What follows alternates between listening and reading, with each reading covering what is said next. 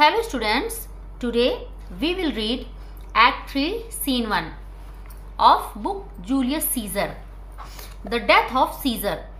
The scene takes place just outside the Capitol. There is a crowd of people in the street leading to the Capitol.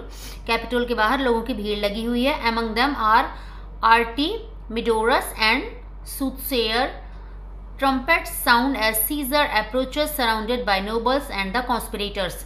Caesar अपने सरदार मतलब nobles के साथ जो है, अपने सैनिकों के साथ और उसके साथ कुछ षड्यंत्रकारी भी थे, उनके साथ वहाँ पे पहुँचता है। It is said that the hero is blindly driven down to tragedy मतलब वो अपनी ट्रेजडी की तरफ़ आ रहा था। Caesar was given many warnings उसको बहुत सारी वार्निंग्स दी गई थी। Fate now gives him two more chances through the soothsayer and a honest citizen उसको फिर से एक और चांस दे रहा था उसका भाग्य कि वो बच जाए।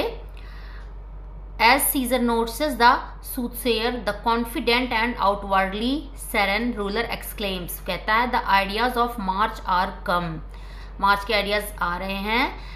Ides of March are come to which the soothsayer reply soothsayer reply करता है ay Caesar but not gone Artemidorus presses forward and presents his letter अपना लेटर जो है प्रेजेंट करता है urging Caesar to read it वो कहता है सीजर से किसको वो पढ़ ले। Decius is quick to step ahead of him to present a petition from Trebonius Artemidorus in despair calls out to Caesar to read his letter first वो कहता है कि, पहले आर्टिमिडोरस ये कहता है कि पहले वो लेटर पढ़ ले because it is very important to him personally Caesar tucks it away to be considered later वो ये सोचता है कि मैं इसको बाद में पढ़ लूँगा। And says he will deal with other people's business before he deals with his own. Caesar goes up into the Senate house. Caesar Senate house में चला जाता है. The conspirators crowd around Caesar in support of petition presented by Metellus Cimber who on his knees asked Caesar to call back from banishment. His brother वो क्या कहता है कि उसको ब्रदर को जो बैनिशमेंट देश निकाला दिया गया था उसको वो वापस कर दे मतलब उसको देश निकाला ना दे Publius Cimber, Caesar is disgusted at this un-Roman show of humility and arrogantly refuses to alter his decision वो क्या कहता है कि मैं अपना डिसीज़न चेंज नहीं करूँगा। Brutus and Cassius support this plea but Caesar repels them Caesar क्या करता है? उनको मना कर देता है declaring that Publius had been banished for good reasons कहता है कि पब्लियस को अच्छे रीजन से देश निकाला दिया गया and that he is constant at as the northern star जैसे कि नॉर्थर्न ध्रुव तारा स्थिर होता है, वैसे ही उसका डिसीज़न जो है वो स्थिर है। In the inflexibility of his decisions as he arrogantly refuses he the conspirators move still near उसके पास आते हैं until suddenly Casca draws in knife and step Caesar Casca क्या करता है? एक नाइफ निकालता है और उसको सीजर को मार देता है। द अदर फॉलोइंग सूट दूसरे भी ऐसा करते हैं। ब्रूटस लास्ट ऑफ़ ऑल सबसे लास्ट में क्या करता है? ब्रूटस करता है। Caesar dies with the phrase et tu Brute कि इसका मतलब है कि ब्रूटस तुम भी on his lips shouts and screams चारों तरफ़ चीख पुकार मच जाती है। The senators break and run the citizens in the streets below cry out and run as it were doomsday बताइए, बहुत बुरा दिन था। Brutus and Cassius try to quell the tumult, Brutus ironically remarks that by killing Caesar they have actually done him a great service. कहता है कि उन्होंने scissor को मार के उसको एक अच्छा जो है ग्रेट सर्विस दी है। उसके लिए अच्छा काम किया है। Man always live in fear of death but Caesar had been spared many years of such fearing अब जो है लोग अपनी मौत से डरते हैं ना तो इसलिए उन्होंने उसको क्या की उससे मुक्ति दे दी है। At this exact moment, a servant of Antony's comes in. He says that Antony may come to know why Caesar deserved to die. Antony का सीजर आ, उसका सर्वेंट आ, आता वो पूछ कहता है कि एंटनी जानना चाहता है कि क्यों उसको मारा गया Brutus is sure he can satisfy Antony and promises him safety when Antony comes, he appears overcome with grief and says that if they hate him, they should kill him as well.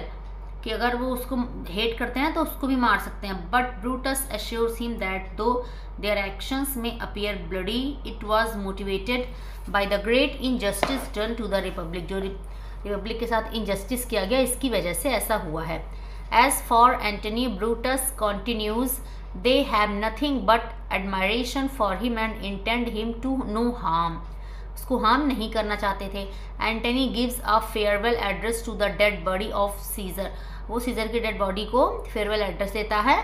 Then he pretends a reconciliation with the conspirators फिर से conspirators के साथ मिलता है. Antony request to be allowed to address the crowd in the market place on the day of Caesar's funeral वो कहता है कि मार्केट प्लेस पे लोगों को एड्रेस करेगा, जिस दिन सीजर का फ्यूनरल होगा.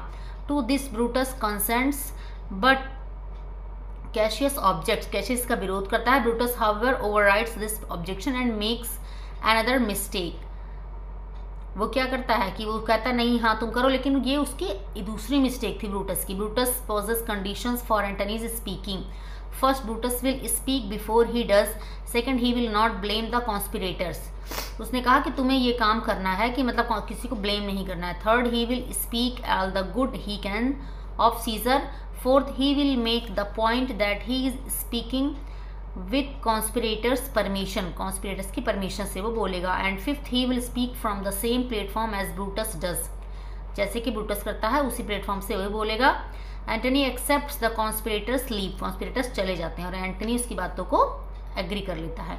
Now that he is alone Antony's true feelings burst out अब एंटनी जो अकेला है तो उसके मन में जो बातें हैं, वो फीलिंग्स हैं, वो आती हैं। He will avenge the noblest man that ever lived उसने जो सबसे अच्छा इंसान था, उससे क्या किया? बदला लिया है। दैट एवर लिव्ड ही उसका बदला लेगा। He prophesies that there will be a pitiless civil war civil war होगी। A servant of Octavius Caesar comes with the news that his master is approaching Rome Octavius Caesar का servant आता है, वो कहता है कि उसका मालिक जो है वो रोम जल्दी ही आ रहे हैं। Antony sends back a message that Octavius should wait a little Octavius को थोड़ा इंतज़ार करना चाहिए but he knows and we know that already there is significant opposition to Brutus coup कि ब्रूटस की कॉप के लिए अपोजिशन है and that there is now the possibility of a counter coup counter coup का मतलब जो suddenly कोई decision ले देता है। मतलब कि अब जल्दी ही पॉसिबिलिटी है कि कोई बहुत जस्ट जो है वो कोई डिसीज़न होगा।